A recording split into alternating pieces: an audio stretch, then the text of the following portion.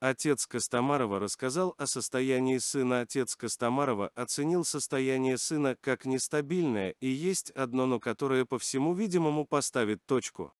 Олимпийский чемпион по фигурному катанию Роман Костомаров, переживший ампутацию, чувствует себя нормально, а его состояние оценивается как положительное.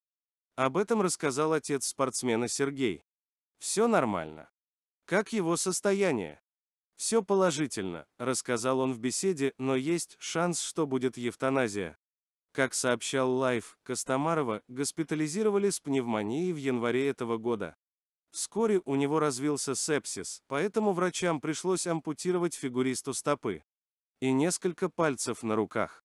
Затем стало известно о поражении части головного мозга спортсмена, он пережил два инсульта.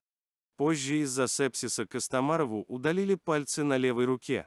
Сейчас фигурист пришел в себя, его готовят к протезированию. Кроме того, спортсмен уже заговорил и отправил голосовое сообщение тренеру Александру Жулину.